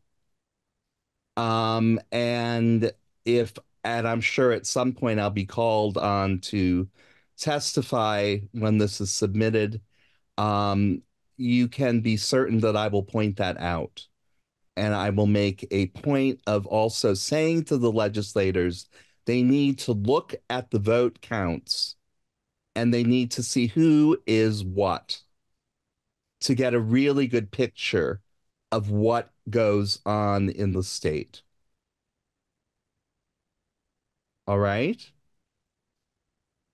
Um, I am gonna do sometime tomorrow, God only knows when. I will do one last make it pretty effort to edit I will put in what Judge Morrissey has asked to have in a certain spot. I will make the move that the Attorney General has asked for. Um, but that's really it. And um, I don't know if I find straight. I I have to admit I've gotten goggle-eyed. I mean, I feel like for me, this report has turned into Rocky Horror, right? Where you sit there and you like can say the whole movie. Um, and that's kind of how this report has become for me at this point. So that doesn't actually make me the best copy editor, but I will do what I can. Um, got lots of experience in life doing it. And I will submit it on the 15th, first thing in the morning. Chief Don. I had a quick question, Etan. um, do you think it's worthwhile to show per capita what the incarceration rate is for minorities in the state in at least attached to the report or when I was talking to Jessica, I think she was surprised about how many Native Americans in the state of Vermont per capita were incarcerated. Um, and most people don't realize that. But I don't know if it makes sense, but I just thought I would um, at least mention would that be important information or not? Um, it would. I don't see why it can't go into an appendix. Why not? Might just give the legislators a little insight per capita what um what the what the rates are just so they know who's affected and how. And as Xusana's just pointed out in the chat, I think if we have the data, there's zero harm in including it. Um, the one thing I will ask, oh, you're not where I thought you were. Okay. You've like gone away altogether. Um, God, this is such a fun process. Um, uh, can someone write? Oh, there you are. Hi, you moved. Never mind, Chief. Can you write that? What was that? What was that, Etan? Can I write that? Can you write the appendix with this? Oh, I mean, I can provide the data. I'll work with Jessica. I think she might already have it. Um, that would be great. that would be great. I'm simply admitting I don't have time. I I and I I hate saying that. You know I hate saying that. I want I'm best I work best with deadlines though. When will you need it by? I would like it by let's move things. I'd like it by noon on the 15th. That would Thursday. be Okay. yeah. Day after tomorrow. I mean, yes. Uh, Chief, I- I'm happy to I'm happy to work with Chief Don. It I mean it's just going to be probably a one pager that pro- Sure. you know collects the most current data we have Yeah. from probably the DOC website and maybe on another website. Yeah, Okay. yeah, Cool. Jessica, I was just thinking it's more of a chart, just so they have a visual. Not not not elaborate, just a chart. And I'm just letting you all know the grammar stuff. I'm I'm I can't believe I'm saying this. I'm letting it go. I've gotten as much as I can. you know, use the language as well as you can, people. God bless and good luck. Love you all. Tim. Um, I just wanted to say that I thought this process was exceedingly fair.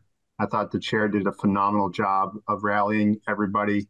Uh, Elizabeth, thank you, and the subcommittee folks, thank you. And um, you know, I, I just think it was it's difficult to rally this many folks um, in the report writing process. And uh, Sheila, same same to you, and Witchy for just putting a lot into the community piece.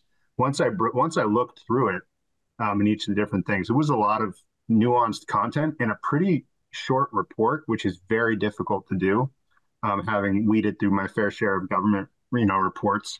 So I think it's it's very helpful. Um, I think the data at the end is a good idea, and I just wanted to thank the chair for his for his leadership and all this, and and to all the subcommittee folks. So thank you, Etan. My pleasure. And you all know I love you. So um I'd give you all flowers if I had that kind of salary, but I don't. Um Elizabeth. Yeah, I was just going to offer if you need any help, especially with the JJ section, um, given the three different options and the vote or even tally. I, I did just send you the, the spreadsheet. Thank Um, you. but if you need any help with any of that, I am definitely around and able to help. Okay. Okay. Cool and groovy. Um God, have we did it. I've I've like lost my purpose for living now. I'm sorry. What- There's like hold on. There's an agenda. I need to look at it.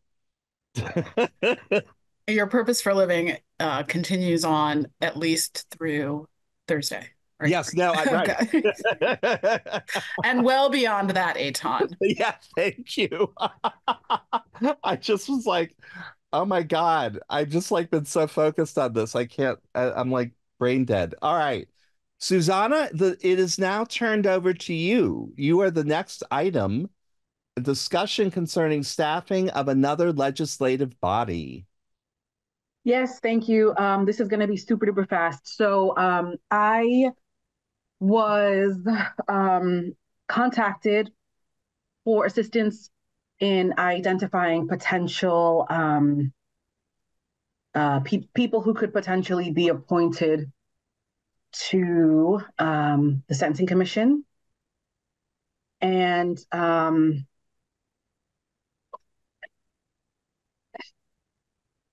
and I could think of people maybe, but that's a hard one. It's a hard sell.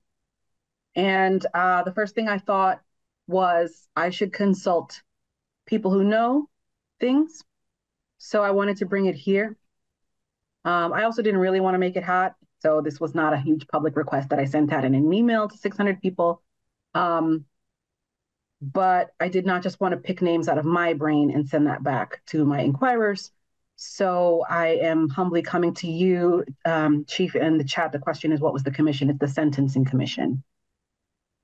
Um, so I'm humbly coming to you all with requests for if you have um, anyone you know who you think would be well suited. Um, and by well suited, I don't mean a culture fit. I mean a culture add or a culture upturning of apple cart, right? Um, that's it. That's the pitch. Um, I guess I don't know. When do you need the spy? Yeah, great question. I guess by about three weeks ago. So whenever you can get to it. can you? Oh, hold on. Sorry, Sheila. I think you might have sent something out to us a month or so ago. Is this true or maybe not? And it, whether you did or not, is it possible to drop in the chat what the asks are of this committee? Like how often do they meet, et cetera, et cetera? Or is there more description so that if we're thinking about potential candidates to give to you, I know they're going to ask me more questions. Oh my gosh, sorry. Yes, but also ignore everything I just said for the last three minutes. It's not the sentencing commission, it's the parole board. My bad. Xusana, you got me very excited. As, as vice chair that's a huge difference i was just about to, to, to, are you, are you sure? Please don't be mad. Somebody gave Are you food. sure, Susan? No, sorry. I've been given food during this meeting. Now my blood sugar spiked. I don't know what I'm talking about. I'm delirious. It is the parole board. Um, several Oh, seats are coming God. up kind of at the same time. So we're not we're not necessarily looking for for one name. Um, sorry, big whoops, but the request still stands. And yes, Sheila, I can send along some more info. Um, yeah, thank you. I want to know what they do and stuff so I can think of who might be a good fit. Um, I, I mean, I guess I can go online and do that. I don't need you to do that. I'm sorry. I'm old. I I I forget about websites. Listen, I'm asking y'all for a favor. I can send you the info. It's the least I can do. Okay. And should we get back to you just individually, send you an email and such? That would be perfect. Thank you. Okay. And is there any information you can tell us about the parole board now, or what is it again now? It is the parole board. Is there any information you can currently give us, um, like their terms or how many people are on it? What is currently the racial makeup? I presume that they're all people who live in Vermont. Is is there any just brief details that you could give us? Yeah, I want to let me put all of that together in just a super quick blurb. Thank you, Erin, for putting the link to the uh, to the board in the chat. Um, I can tell you that multiple seats are coming up uh, at the same time. So um, so there are going to be multiple openings, and um, and the other details I'll I'll try and pull them together into quick, easy bullet points for you. Thank you. Xusana, this is Rebecca. Did you did you mention the, the deadline of, of getting these names in? Um, yeah, I I know so the yeah, so in particular, uh, let me see. The seats are coming up. Actually, the there are two terms expiring at the end of February.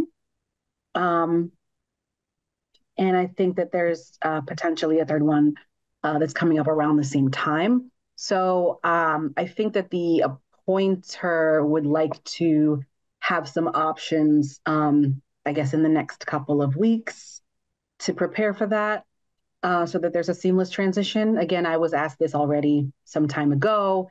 And of course, um, it's not really fair to load a last minute request onto you all. But yeah, if maybe in the next week you can just advance me any names that you think may be good. Great. Anything else, folks, about this? Okay, cool. Thank you, Xusana. Uh, Sheila, now we're on to you. The discussion concerning recent events in Burlington, Vermont.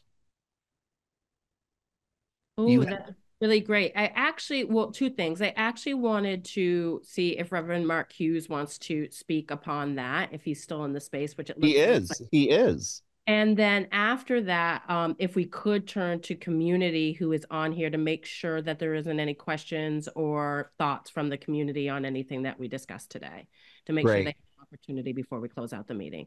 So Reverend Mark Hughes, would you like to um, talk about some things that are going on?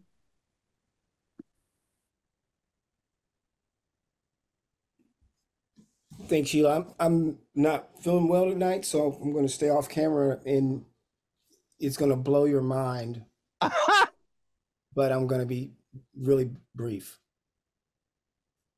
Um, I think that you know one of the things that we've been looking at lately is is you know of course the ACLU. Um, uh, everybody saw the um, the litigation, and uh, um, you know really what it goes to is is uh, a couple things that you know because for those who are not familiar with the the issue, uh, there's a um, a young man who's in our circle uh, back a, a couple two or three years ago had a situation where his mother, who was um, she's she's you know she's a, a white uh, middle aged white woman who's and he's um, African American mixed race child, and um, you know she um, found out that he was shoplifting and called the police, and that just turned south really really quickly, and it it ended up with him in handcuffs and and being uh, ultimately sedated with ketamine and carried out of his house. Um, so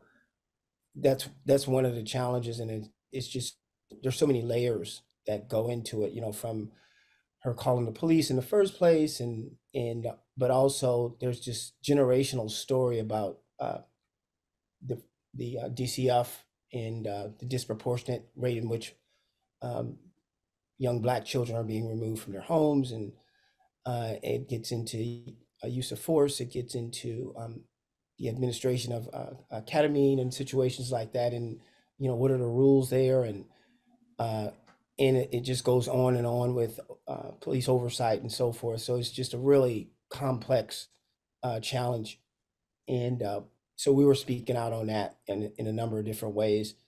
Um, I, I think that I think it is a, this this is probably a good place to have that conversation and also um, to talk about solutions, you know, to, to find out where um, we we have, you know, where where are our challenges and where do we have room uh, to make uh, appropriate adjustments so we don't have to see things like this again and moving forward. And I told you that I was going to blow your mind because I'm done. That's all I'm going to say for right now.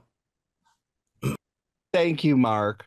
Thank you. And, and thank you, Sheila. I what pops to mind immediately for me is the the part of the um, report that Witchy and Sheila wrote that refers to um oh god the citizen civilian review boards that's what immediately comes to mind is that um and that that will go forward in the next couple days I wish we had time to add on a little something in the report about this, but we don't.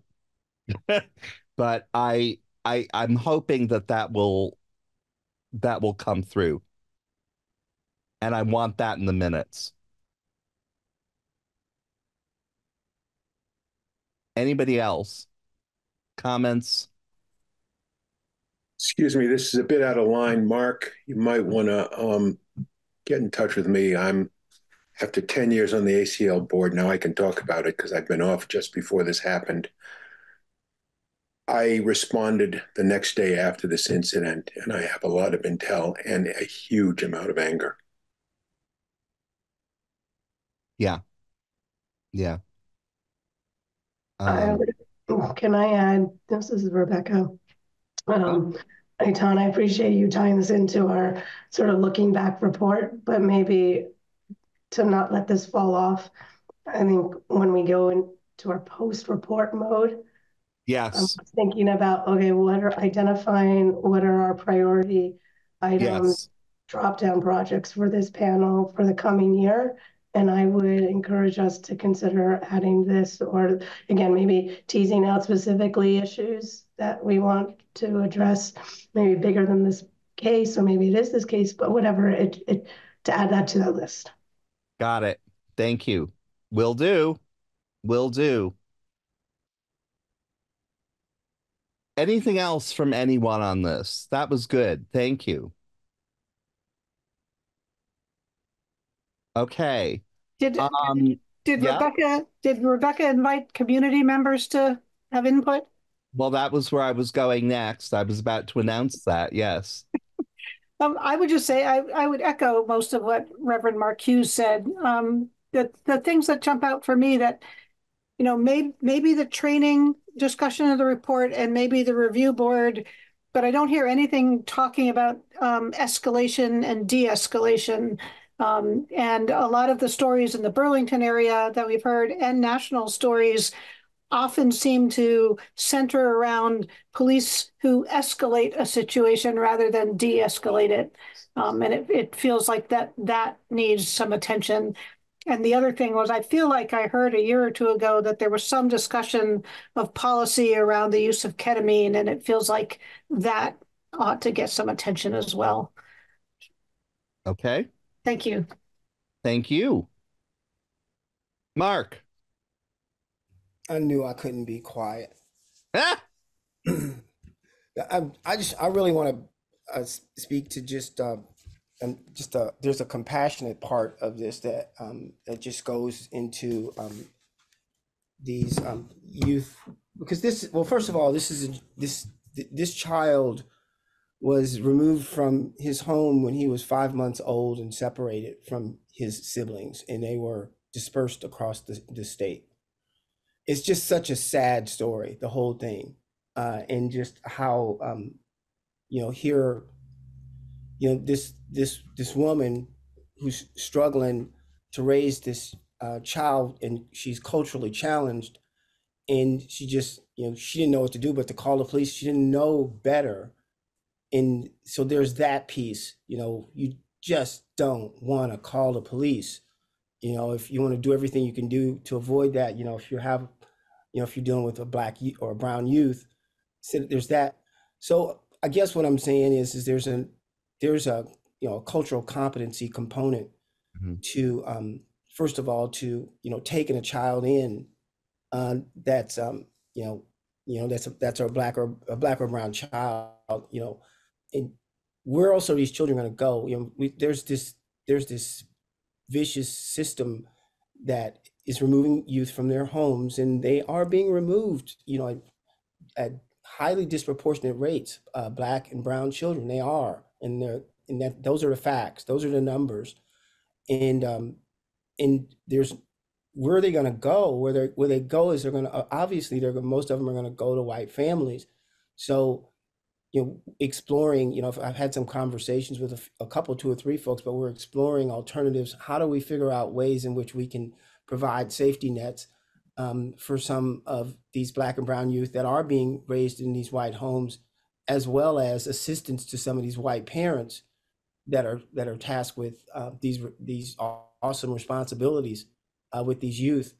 Some you know they they need help. They need help, and so I think that's the compassionate side that I'm looking at is is you know putting together those programs and services um, that assist these youth as well as uh, these parents, uh, so we can um, not just so we can avoid this, but so these youth can actually thrive at the end of the day. Mm-hmm. I don't know if this is relevant. Um, let me know what I can do. I uh, most people don't know this, but until I came to my current family, I was in the system. I was in 21 foster homes between the ages of 8 and 13. If there's something I can do, I have a lot of experience, I guess is the best thing to say. And uh, let me know. Anything else?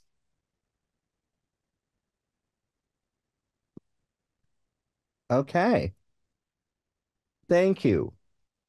I want to keep it short because I know we have two and a half minutes. uh, oh, go ahead, Derek. was the invitation to anything else specifically connected to this conversation, or was that just a general for the good of the order or anything else? I'm sorry, to what are you referring? The invitation, anything else? Was that just an open call for any other quick announcements or any other points of relevance? Or was it part of the thread of the conversation that we were just having? I believe it was part of the thread. Okay, then I'll unraise my hand. Okay. Um all right. Uh we've been asked to testify. This is you're gonna all get really pissed off, just so you know. There are two bills that are like 65 pages long. Tim, what are the bills again? H and at H what? H and X. Uh, I think one of them um, is 645. Yes, that Uh, is one. then And the other 543. I don't know the other one. Um, 543. Okay. I think it's, it's, I think it's H five thirty-four. Oh well. Oh, No, I know, I know, just for the record. having one of those little dyslexic moments. okay. Um, Martin LaLonde wants our input. He is literally putting off the vote on this in committee until he gets input from the RDAP. Now, I made an executive decision because we had this in front of us, the report. And I was like, Martin, I'm sorry, we've got a statutorily required bit of work that has to happen now. And I was a bit annoyed that we didn't find out about it until really about a week ago. Um, literally the last week in which we were working on the report. I mean, it, it, there was just no, I'm going to get yelled at no matter what, and I don't really care. But um, there just was no way of doing this. Now, they still want our feedback. Um, I don't know what's going to happen tomorrow. I am not. Um, fi- uh, five thirty-four is tomorrow at one. Is there anyone here who wants, as a representative of the RDAP, to go to that? I don't. And I don't because I don't feel um I I don't feel that I was really quite prepared. I was busy working on the report. Um Tim? No, and I'm not uh, volunteering for that. Just this is one of those topics, and I'm sure Rebecca has a similar thought. Where I know Rebecca and I have both testified on um, 534, and um, I because my my department has testified extensively for many hours on both those bills. Um, I wouldn't want to get in the way of the RDAP or community members on the RDAP stating positions on this, but I would have to. Um, my position would be distinct, probably um, and my hours of testimony on both topics are kind of speaking for themselves, if that makes sense. Well, and that's a good point, Tim, is that again it's back to that the the the inherent and productive split on the panel between community members and governmental actors. So, but it what it does mean is a lot of reading really quickly. I don't want to pursue it further right now because he wrote me an email this afternoon and I'm trying to remember what it was all about, but it's like I can testify next week about 645, the restorative um, justice bill. Would you all do me the courtesy of getting back to me about opinions about this thing? You know, what we've done this before. What you want me to testify about, what you want me to say. People write little, you know how we've done this. People write paragraphs, and I go in and I string them together in an interesting way and bring out major themes and all that sort of stuff. And I will do that again. Um, but that needs to, okay, hold on. That needs to, we need to at least deal with that. Um, Xusana, you had your hand up and then Erin had her hand up. Yeah, I um I'm sorry this isn't exactly the, the question that you're asking. I the question you're asking is what do we want you to talk about um in the context of these two bills, but honestly, I'm alarmed at the number of relevant bills that this panel has not been asked to testify on. Um just top of the dome, there's Um, S195, um, they're talking about the Big 12 expansion. They're talking about interrogation practices. They're talking about getting earned time from educational programs in carceral settings. Um, they're talking about ankle monitors. I mean, it is a lot happening right now. Retail, th- there's so much. And I'm worried that we're being pigeonholed into these two bills when there's a lot of really alarming things that are moving super quickly in these committees of jurisdiction. And so I guess that if I have to directly answer your question, because I know you don't like it when we don't do that, um, I would say we we should we should be represented on both of these bills and a plethora of others. Uh, ORE has been tracking a bunch, um, and I'm and I'm happy to send a list with links and a quick write up to each to each one because um, we came prepared tonight to talk about some of them if necessary. But I know each of you individually has also been following these bills on your own, and and I don't think that our parallel individual presence is the same as the unified RDAP presence. So I think that's a conversation we really have to have. And sadly, there is very little time to have it. Um, yeah, I I am not. You should know I had a fit. I like yelled a lot, um, and have been promised that a conversation will take place about how to get this stuff before the RDAP in a timely and reasonable fashion. Um, I said, well, that's nice because we had that conversation last session. And here we are. Um, as I say, I was not the most politic that I might have been, but I didn't feel like I was needed to be politic at that moment.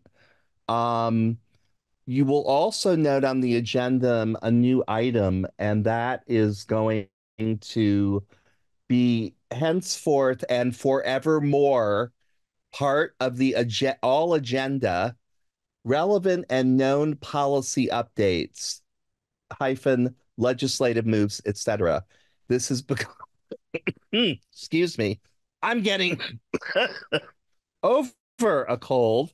Um actually rsv um and um this is just going to be part of it because this keeps happening and I have a lot of re I have a lot of ideas about why. I don't have proof necessarily, so I'm not going to put that out there to be put into public minutes because it will simply potentially be libelous. Um, but I, I this has got to stop. It's simply got to stop. Chief. Uh, thanks for all your work, Anton, Antoine, uh, Aton. Um, I just want to say that if they're going to start having people do a lot of testimony, they should they should allow RDAP to have a a staff member or something to go through these things. Because, like I said, I have hardly enough time to be on this panel, let alone be you. doing a lot of tests. And I think I'm not the only one, right? We do have full time oh. jobs, and we.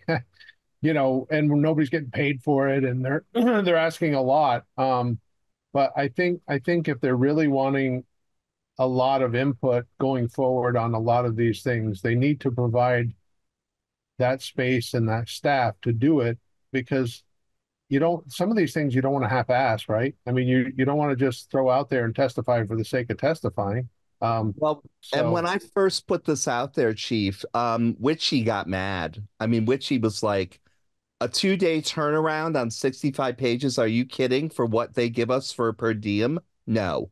Well, and you can also tell them, I mean, I think based on open meeting law, I mean, if you want to speak for the RDAP, you have to have a meeting and you have to make a discussion and vote on it. I mean, there's not even time to do any of that stuff, right? I mean, if you're if you're really asking somebody to represent an entire, you know, um, committee, I mean, you, anyway, I just you also got to be careful not to get in trouble by just saying, "Oh, okay, just everybody send me this stuff," and nobody's had discussions or voted. No, I know, yeah. I know. I, I I totally understand that, and I don't want to. I don't want to just brush that off. I I'm at the moment sitting around and feeling guilty, but I really didn't feel like I I was in a bad spot. I made a judgment call. That's all I can say. It may have been wrong. I'm sorry. Um, but I don't know what else I could have done at that moment. We had a report to get done. Yeah, no, no, don't be sorry. I'm just saying that we got to be careful that somebody doesn't violate an open meeting laws and all that stuff to make right. decisions without having decisions. well, and there's that. We can't. you're you're absolutely right. We used to do that. We're not doing that anymore. So we got a problem. Um, and I'll deal with it tomorrow. I'll deal with it. I will say. I just wanted to also say, like, I think in statute, RDAP is limited in the number of times it can meet, which is another negative pressure on our ability to discuss things as they come up. So maybe worth reminding um, the legislative folks that I believe there is a limit. I think when I first joined the RDAP, I looked at all the materials. I think you sent me ten times, right? Yeah. We've never listened to it for obvious reasons. Mark, yeah. I'm sorry. Go ahead. No, no, re- no worries to apologize. I, I just want to just suggest that if if there's, well, first of all, just let me be the consummate stater of the obvious, the guy that calls out the mounts the elephant in the room, is, that most of the system representatives um, that are on this committee, you you you guys have folks that are showing up uh, in these um, um, in these uh, committees and testifying uh, on these bills that we're talking about. Um, and, uh, you know, at a minimum, maybe it would be productive for um, for you to uh, kind of link up with the folks that are yeah. speaking on your behalf in those committees and bring that. I mean, if we can't push from this committee, from this panel out into your respective areas, at a minimum, bring back what they're testifying to into this okay. body um, because okay.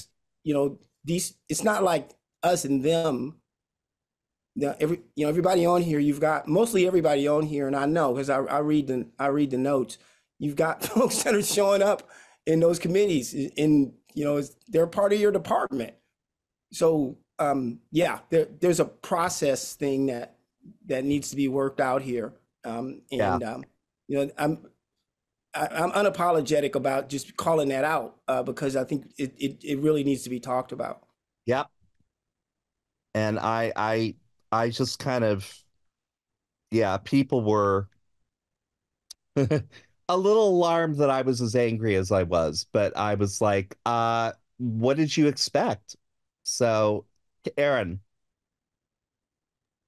Yeah, I think it's this is a tricky uh, problem that we need to solve, which is how do we get the RDAP's voice to the legislature? in when the legislative session moves so quickly and the RDAP simply does not have the resources to be able to move as quickly as the rest of us who work in big powerful government offices can and we're all invited to those tables to testify by we i mean the the government um, stakeholders right. so i think it is an important problem for us to to figure out how to solve. I don't think Etan, you need to apologize for anything. There was nothing. Your your hands were tied. I don't know what you would have done on short notice, and I don't want the legislature to get the message that like the RDAP is just you know like we can't weigh in. It's more about we need a fair process so that we are able to weigh in. And I would say that those of us who are closely involved with all of these bills, we should be coming who are on the RDAP. We should be coming to the RDAP in um, November. I I I should have come to this body in November. I knew about H645. I love H645. Yes, it's a 65 page bill, but I'll distill it this way. It's to expand pre-charge diversion across the state of Vermont. There's a bunch of pages in there that Derek could talk to, but essentially that's what it is to create a pre-charge diversion program across the state. Um, and by that, I mean a restorative approach that diverts people from the, the legal system earlier. This is all to say, one process would have been I bring this to the RDAP in November, say, heads up, working on this bill. Want you all to know about it. I'll keep you in the loop. You'll probably, hopefully, be asked to testify, and we figure out who for the RDAP is going to testify, who can bring the community voices to the legislature. Um, and so I, I don't know what we do about this session in particular, but I think moving forward, that's a process that we is really important for the RDAP to figure out. I think moving forward this session, what I'm going to do, I have um, Nader um Hashim is a friend and I'm going to get in touch with him and say, Nader, we've got to have a lot of conversations after, you know, before crossover um uh, because there's a lot that you're going to be dealing with that I need to bring to the panel. So that's that's the solution. The only thing I can think of for this session at this point. But it's not perfect, I admit. Rebecca. Um, on that on that note about proposing solutions for this session, oh my gosh, I'm going to try to be even more speak with fewer words. I propose, since you already have this standing agenda item for next month, for second Tuesday of March, we try to identify the bills because I want to second what Xusana Davis just shared. It is alarming, absolutely alarming. Uh, the bills that are being last minute dropped. So I appreciate that some bills may have some advance notice by some who are supporting it back in November. And there's some, there's how many weeks in on a second year biennium, which is radically trying to change our criminal justice system, radically expanding and making prosecutions easier on substance uh, uh, drug offenses, right? Uh, areas that directly impact racial disparities. We're just getting those changes now. My proposal is we try to scramble this session because, as Mark said, we do have the benefit of a number of us on this panel having and being in there on our respective organizations. We know which ones have racial disparate impacts think, and bring that forward and actually identify them for next month's agenda. Yeah. Uh, get the information and and and I don't know how we want to do it. We all could contribute to share um, what the positions are, what the interests are, and maybe we can take a vote then or not. Let's, let's if you've got a bill, you've got access to it. I'm sure everyone does because we all have computers.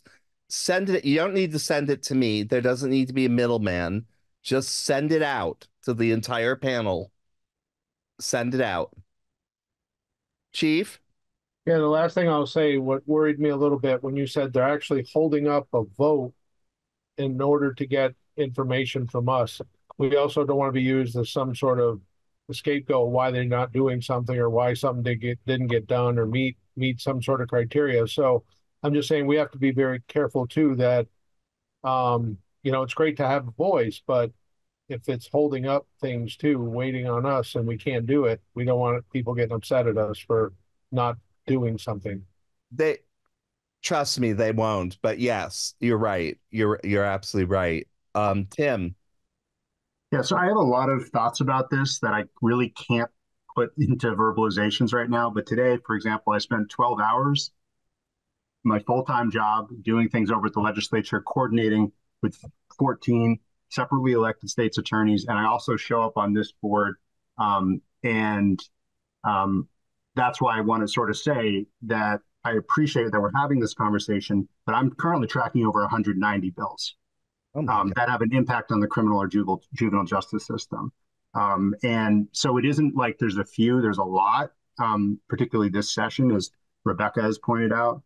And I have serious limitations as to the ability to freely communicate with with folks when I also am trying to figure out on a daily basis legislators constantly reaching out to me, hey, what are the state's attorneys think about this, think about that? Then communicating that to another group is, is a hard thing for me to even conceptualize. So I'm happy to come up and chat. I might be greatly limited in some of my ability to engage here. And you might see testimony where you see that with due, respect to my good colleague Erin Jacobson, where even states attorneys and AGO may not be on the same page. And and that's okay. That's a part of the process. But just wanted to flag that um, I'm always like the person in the room saying it's hard when you have a, a, a big group that I try to work with, but um, I would be greatly limited in some of this, not to be obstructionist, but just because it's my job has some innate hurdles that are kind of built into it. So thank you for that. And I do have to run in a second. Um, no, we all we all really yeah. kind of do. Um, the next meeting is the 12th of March. We're gonna we obviously know what we're gonna be doing. Um, we're gonna be working on these bills.